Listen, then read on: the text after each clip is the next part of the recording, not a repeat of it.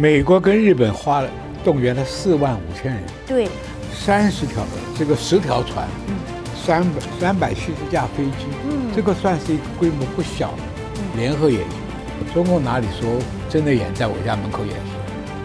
那我就搞实弹演习。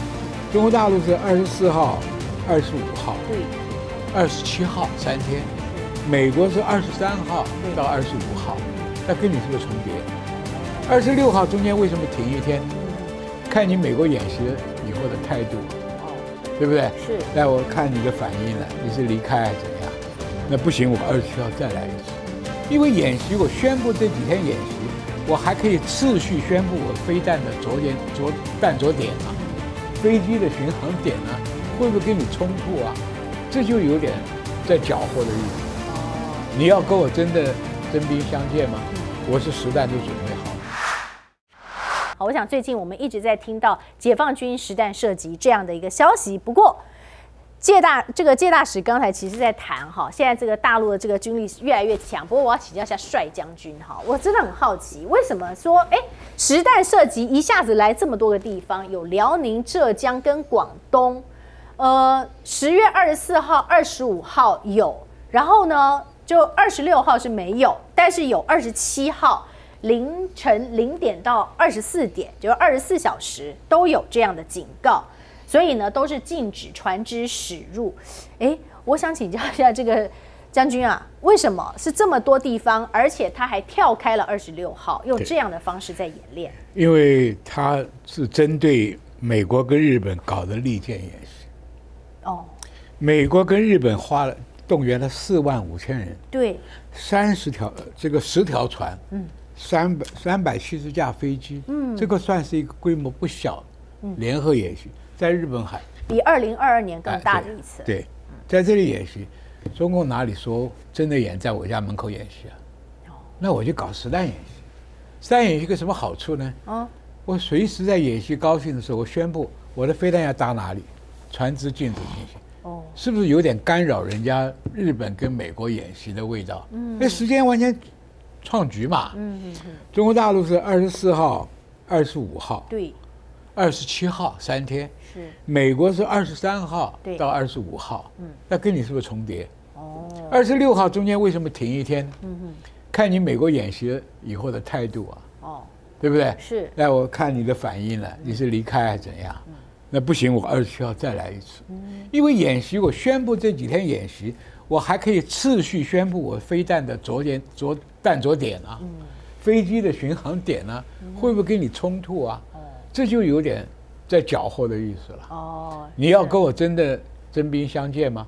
我是实弹都准备好了。哦，所以这个东西是针对美国跟日本的演习的一个相对应的活动，可大可小。哦，是，大我就把导弹东风，嗯，在试射区域标在日本海；是，小我就在你附近有军事的活动，甚至有侦测船、电侦机，甚至于有实弹的攻防在这边搞搞，这个都是一个很直接的较劲儿啊，哦，不是那种嘴巴宣布宣布啊，你你演你的，我演我的嘛。是这次这个利剑演习啊，两年一度，而且它是从二十三号持续到十一月一号。那么呢，他在这次呢这个演习当中，诚如刚才帅将军所说，他集结一共四万五千人，日军出动的较多，美军出动的较少，但是美军也有一万两千人以上。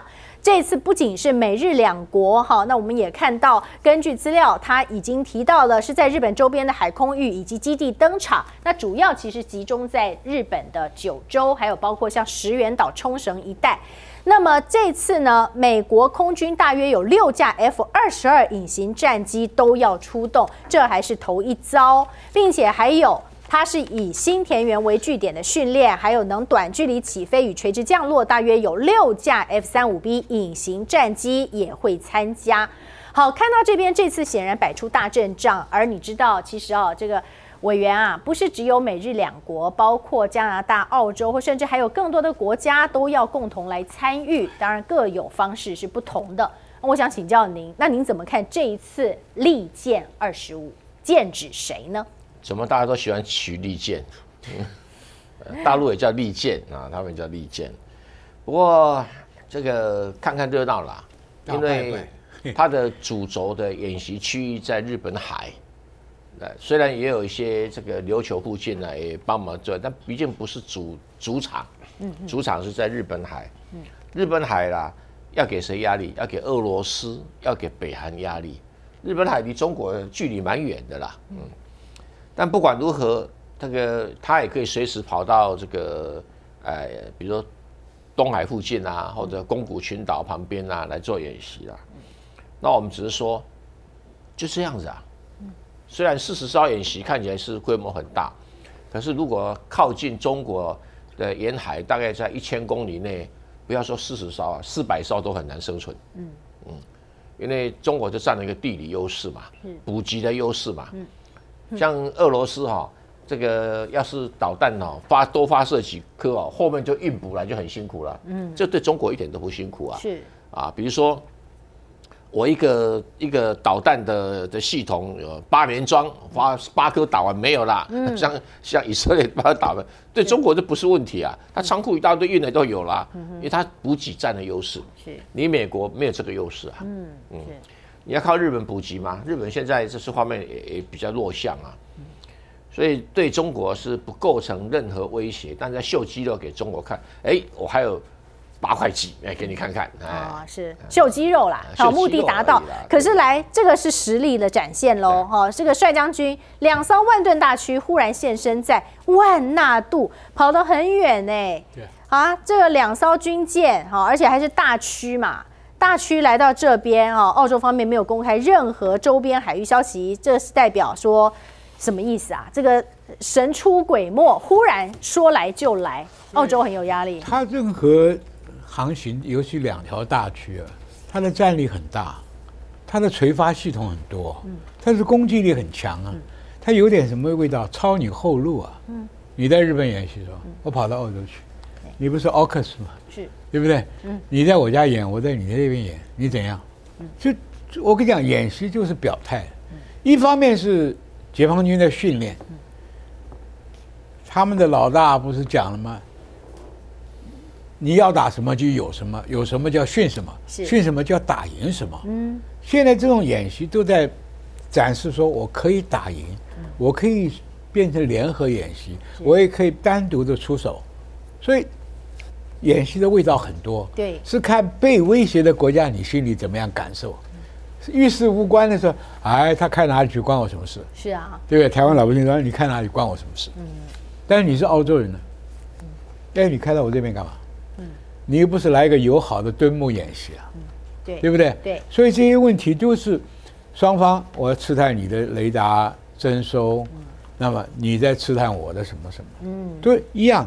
你说日本跟美国演习，加拿大、德国这些船来干嘛？哎，其实是增加主办单位很大的困扰，语言不通，战法不一样，这个能够编成一个联合的队很困难，任务怎么分配，纯粹就是个海军大拜拜嘛。哦，我跟你讲在二次大战里面，德国是没有办法要用意大利这种部队，但是又不相信这部队，经常拖累他，叫他在守旁边，结果旁边被人家打穿。哎，哎，有的时还要去候真的救。还要去救，有时候有蒙多不是件是好事啊。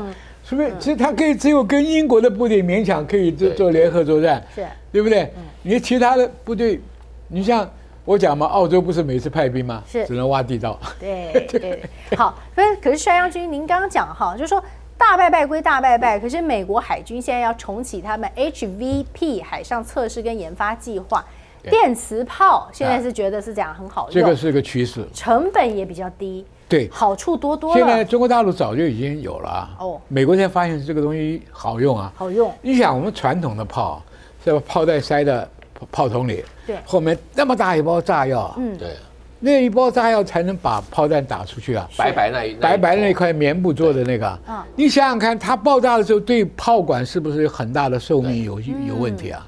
对不对？而且这个炮弹在前面出去的时候啊，它是有膛线的，膛线是干嘛？要摩擦这个炮弹，让它旋转。啊。所以炮管有一定射击的次数，多了就不行了。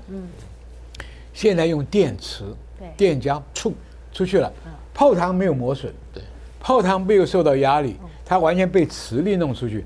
最可怕的是它的初速很高，哦，初速很高就射程很远。我们一般传统的火炮，二十公里、三十公里，打到四十公里就不得了了。那个那个炮啊，可能用不了几百发就就要报废了。嗯它这个无线用啊，是而且可以打到九十公里啊。嗯，最起普通的也打八十公里啊，而且它因为速度快，对，就可以说瞄哪里打哪里的时间就缩短了。不像我们有时候跟电视转播，那边嘴巴在动，我们还没听到声音，听到声音已经下一句了。对现在它速度快，对，瞄起来就方便了、啊以前打仗要瞄前质量，你飞机这样飞，我要瞄这边，你飞到这边要打上。